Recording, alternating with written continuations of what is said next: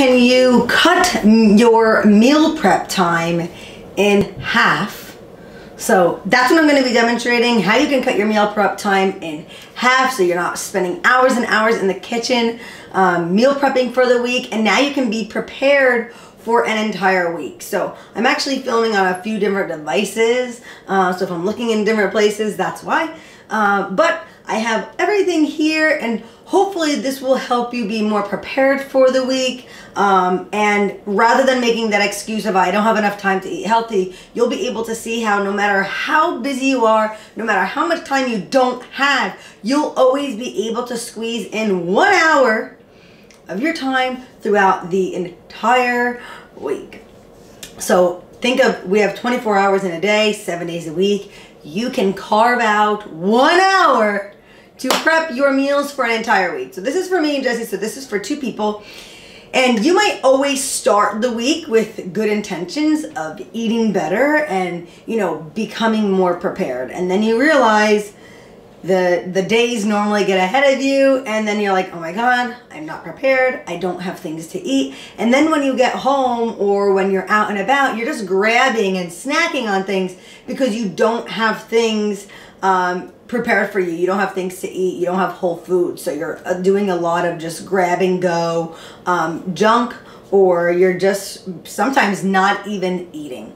And sometimes you'll come up with a hundred different reasons as to why you had to maybe do something else and not eat. But if you have things prepared, you could do both, multitasking. So I'm going to be showing you how to meal prep using my grocery haul method. This grocery haul method works. This is what I do. I practice what I preach because this is why I'm always, always able to be uh, prepared with my meal prep because I don't spend hours and hours doing it. I used to spend hours and hours doing it and I realized that it wasn't sustainable because I was making all these crazy intricate meals and it was just too much. So my grocery haul method is each week it will rotate, but I only focus on a few ingredients each week. So you will have two proteins, you will have three vegetables, two carbohydrates, and then two fruits for grab and go. And then you'll also have add-ons, but I'll go over the add-ons. Right now, I'm just going to show you how to prep my meals. These are gonna be for my lunch and my dinners. And then I'll show you what I do for my snacks and um, my breakfast. So for this week, I'm actually doing, my two proteins are gonna be chicken and ground turkey. It's about 12 ounces of each. Um, hold on one second. I got some in my hand. And then I have, so I have two proteins, so chicken, ground turkey. My three vegetables are peppers, zucchini, and broccoli. And then my carbs are rice and sweet potatoes. I have actually jasmine rice this time. You might be thinking like, oh my God, she's eating white rice. Yes, I eat white jasmine rice and I eat brown jasmine rice because one is not worse than the other. They're both good. I like mixing it up. And then I have my two grab and go options for my fruit.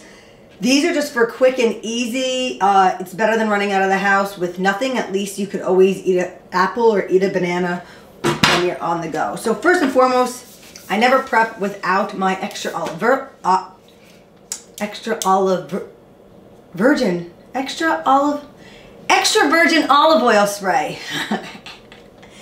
you just witnessed the Danae moment. So I'm going to spray all of my baking dishes. So I bake all of my vegetables and it's this easy. So I'm gonna use this big broccoli bag from Costco. It's amazing, it's big, it's easy, and it's cheap. And the best part about it is it's washed. So I typically need two baking dishes for the broccoli because there's a lot. I'm going to use the biggest ones. There you go. You're going to be like, wow, this is way easier than I thought. So we got our broccoli. Now we have our peppers, which I did not cut in advance, but I'll show you how easy it really is and I'll probably fast forward this a little bit. Now, typically, I'm obviously not upstairs in my kitchen, um, but typically what I do as I am preparing my vegetables, right now, just imagine my pot of water is now getting boiled for the rice. And I'm just gonna cut up these vegetables. I typically chop up my peppers long ways. Typically eat one while I'm cutting. Why not?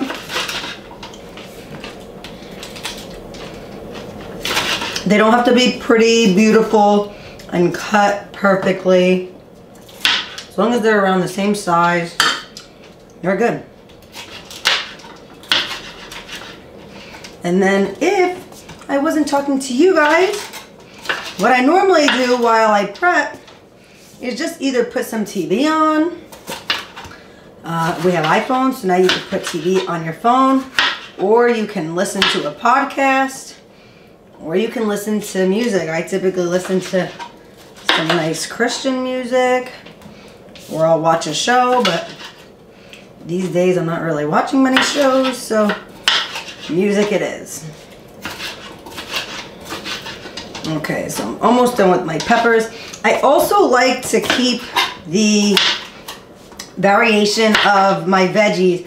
I try to keep everything colorful. Some weeks I do have more green than color, but I do try to keep it, you know, colors of the rainbow. So I have yellow, orange, red, green,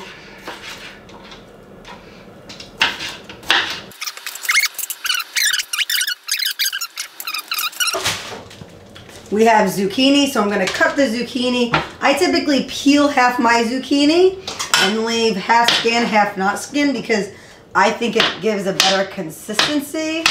Zucchini can be a little bit like too soft, but I feel like the skin gives it more flavor. Jesse's not a huge fan of zucchini, but when I do it this way, I do notice that he likes it more. Zucchini is like one of my favorites. Raw zucchini is also my favorite.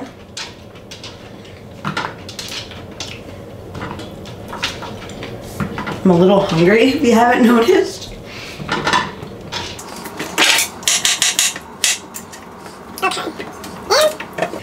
Most important part is seasoning your vegetables. When people complain that they don't like vegetables, it's typically because you're eating them too plain most of the time. You need to season them up. So I typically season them up different ways. So I'm to put them next to each other.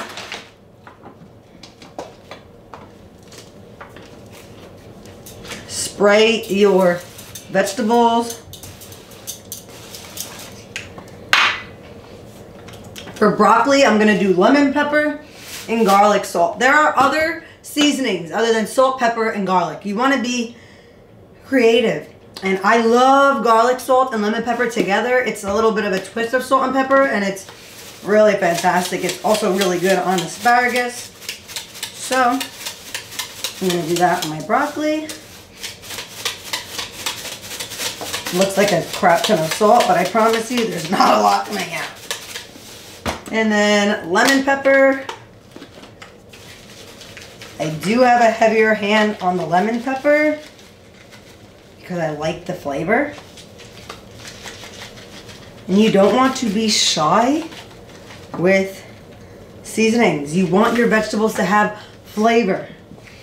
And then for the zucchini, I'm gonna do some little tang. So I'll do some salt.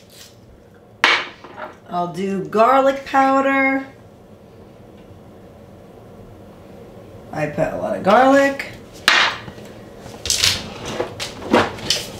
My favorite Tajín.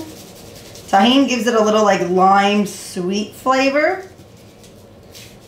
And then I'm going to grab lemon out of my fridge because I don't have it. And I'm going to squeeze some lemon and sprinkle a tiny bit of thyme. So now I got zucchini.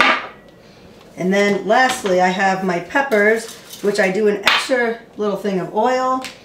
And I like making them a little bit like chili Cajun at least this time around. So I got some Cajun seasoning.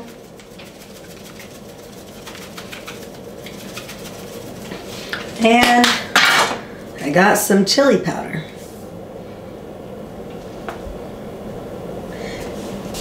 Again, be a little bit heavy with your seasonings. You want them to have flavor. You don't want them to be boring. And that's it. Those are my veggies. I am done with my veggies. If I was upstairs in my kitchen, I'd throw them in the oven. At this point, my water should be boiled. So I threw out, I throw in my vegetables. I throw my rice in.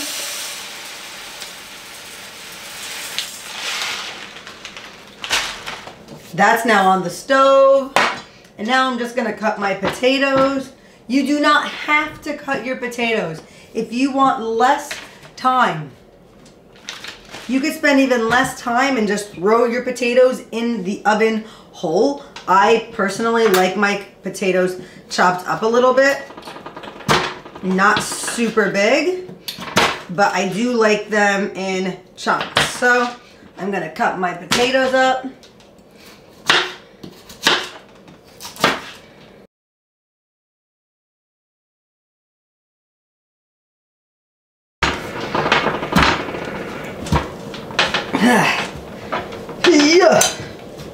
Maybe I'll go this way.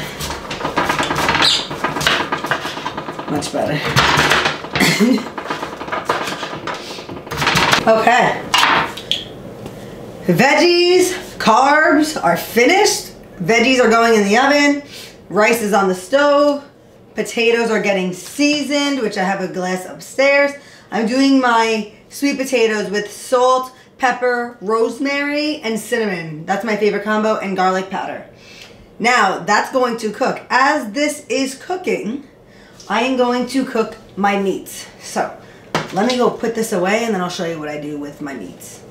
So, you're gonna see some little behind the scenes of how Danae cuts her chicken. So, my vegetables and my rice is cooking, and my potatoes, all I have left are my meats now, to make it super simple, you could make all your chicken the same. I actually like to make mine two different ways. So, I'm gonna show you. This is like my least favorite part of meal prepping. If there's one thing that I do not like doing, it's cutting the chicken, from being honest. But, you gotta do what you gotta do. Okay, there we go. I actually cover my chicken with uh, paper so it doesn't go all over. And then you can judge me, not judge me, whatever you feel. I do not use a, what's it called, a muddler thing that you, a beef beater or whatever for chicken or beef. I use my fist. I think it comes out better. I have one upstairs. You can use that, of course. I don't recommend using your fist, but this is just what I use.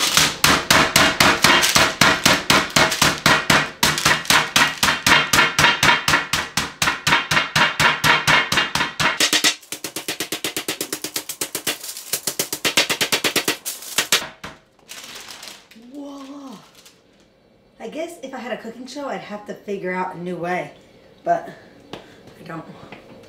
And I do want one. I slice my chickens in half. Throw them in a bowl. Okay, so for two different types of chicken, I'm going to lightly bread these and this chicken. I'm going to do salt, my balsamic chicken. So salt, this is garlic.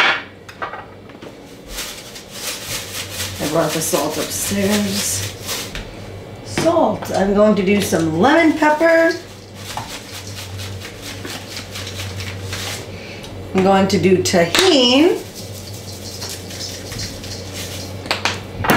Some thyme.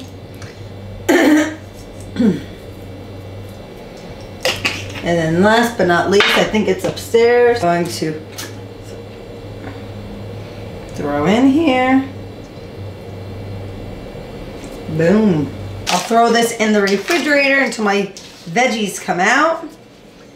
This I do very, very simply. The other chicken I just throw in. I don't really do a lot of breadcrumb. I just throw it in. And get it a little bit crusted. I don't add flour. I don't add egg. I just like to get a little bit of it with some gluten-free breadcrumbs just to kind of change it up a bit. As you can see, I don't really use that much breadcrumbs. It's again, just to get it a little crusted. And that's it. You're actually finished.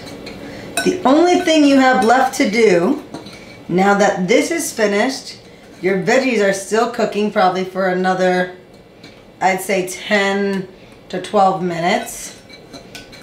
Um, you want to cook your ground turkey on top of your stove. So I will actually get the three pounds of my ground turkey, cook it on top of my stove. I have a big pan so I could cook it all at once. I season it with taco seasoning and chili powder. I cook that.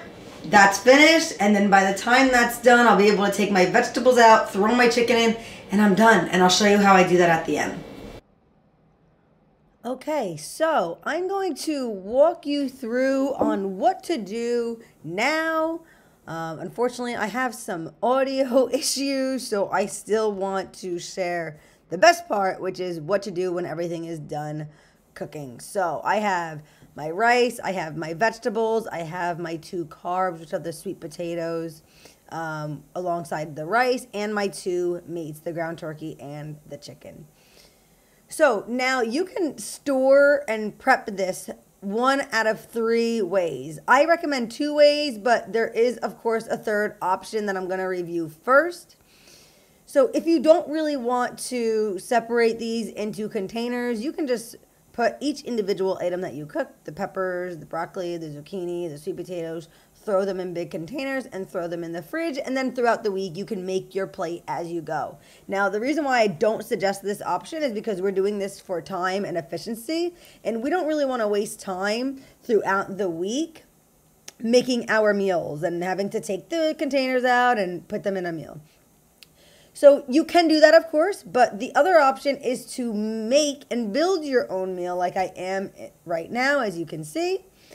I am going to uh, prepare my meals with a protein, a carb, and a vegetable. So I have my ground turkey, I have my rice that I'm now throwing in, and now I'm also adding in my zucchinis.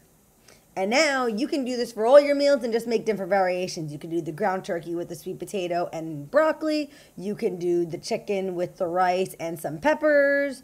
Um, so you just want to make sure that you are doing this in a way that now you can just kind of grab the meal and go. So another thing that you want for the week because now you have all this food prepared. You want to make sure that your meals are different. They're not always tasting the same and that they have lots of flavor. I'm all about flavor because if your food is filled with different variations of flavor, then you're going to want to keep eating it. So I always pick three toppings that I could dress my meals with. For this week, I have the chili pepper sauce. It's from Trader Joe's. It's amazing. I love it. And it's not super hot if you're sensitive to spice. I have the Primal Kitchen Primal um, BBQ sauce, and then I have balsamic vinegar. So, all of my meals, depending on how I pair it, I'm going to use these toppings. Um, I highly recommend the Primal Kitchen dressings because they're amazing. They have low, they're not filled with a lot of sugar, if any. Um, they're gluten free, dairy free, soy soy free, canola oil free. They're made with really good ingredients. Now, the other way for you to store your food, the way that I personally do it, because this is the way me and Jesse like it, we actually will weigh out all of our food the same way every single week, and we put every individual item in these little small containers that you can see up there. So I weigh out my ground, all of my meats, so my ground turkey and my chicken at 100 grams. All of my vegetables, no matter what, are 120, and all of my uh, potatoes are 140, along with my uh, rice being 100. So we have a formula or a, guide that we always stick to. So it's very, very easy because no matter what I'm cooking, if it's a vegetable, it's always the same. If it's a protein, it's always the same. Same goes for the pro- the potatoes and the rice. So this makes tracking very easy if you are tracking. Another reason why this is also good is because if you aren't tracking, at least if you're making your meals with the same portions, now you know you're really eating for your goals um, and keeping you on track. So, when you uh, tr- uh, create your meals, you want to make sure that you're storing them the right way. This is critical when it comes to reheating your food and making sure that it tastes fresh. So what I'm going to do is I'm going to uh, put all of my meals in the containers. I'm going to put my meals from Monday, Tuesday, and Wednesday in the fridge. And then I'm going to put the rest in the freezer.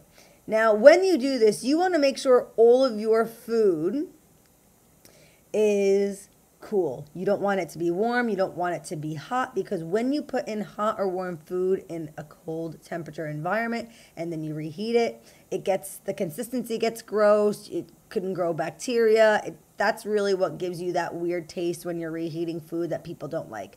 So reheating and storing your food is really the most important. And I hate to break it to you, but most restaurants are serving food that was previously frozen. Um, not all, but there's a lot that do, and it's just because they know how to reheat it and store it properly. And lastly, you want to, um, if you're not someone who tracks your meals, you want to follow the 40 40 20 rule 40% protein, 40% vegetables, 20% carbohydrates. So you will uh, be able to create your meals and know that you have the right portion for what you need. So that really is it in regards to storing your food and putting your food in containers. It really doesn't take that long. It's maybe an extra 10 minutes, 15 minutes tops, but I can't see it taking longer than that.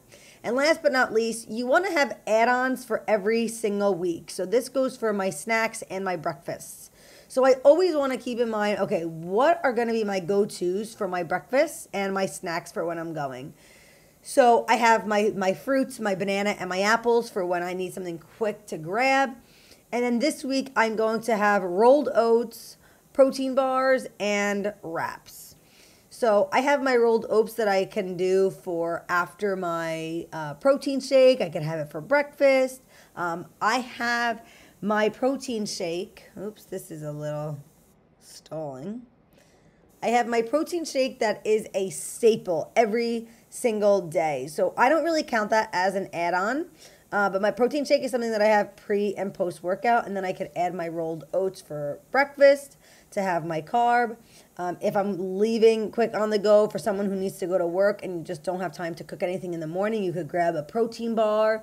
And the reason why I'm adding the wraps for this week is because I like making quesadillas with the wraps. Um, the wraps are a good way for you to make egg sandwiches in the morning. If you do have time to cook, you could scramble some eggs, put it in a wrap. Um, so I always like adding other things that don't require much cooking that I could add to the week on top of my cooked meals. So this is really it. All you need for this is an hour. If you want to maybe add the time that you have to put your food in the containers, you could add another 10, maybe 15 minutes to it, but that's it. And now you have your lunches and your dinners along with your grab and go snack and breakfast for the week. You are always prepared. Um, and really, it, it is that simple. You don't have to overcomplicate it. Just make sure that you're really seasoning your stuff up because it'll allow you to have a lot of flavor and variety throughout the week. And then what I like to do is just rotate this. So next week I would do different proteins, different vegetables, different carbs. For example, maybe next week I'll do shrimp with chicken. Um, you don't have to do chicken again. I just typically have chicken every week because I like to because I make it different ways. Um, and then maybe for my grains next week, I'll do little baby red potatoes and I'll have quinoa.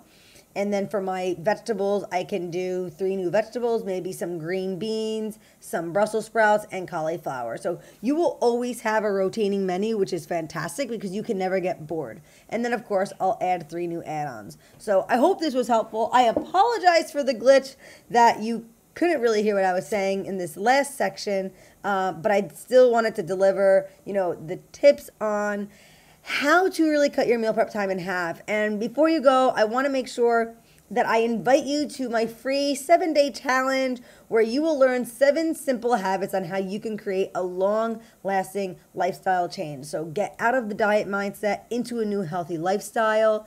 My free challenge really has a ton of value and content in there for you to take advantage of. You have free recipes, uh, workouts. I also have my free gut health ebook that helps you determine whether or not you have gut health imbalances and if you do, what can you do to fix it?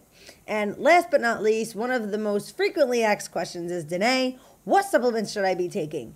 So I actually put together a supplement guide for you so that you know what supplements will help you best and also help you feel your best so you're not wasting money on things that you don't need. So go ahead, click the link above and below, join the free seven day challenge.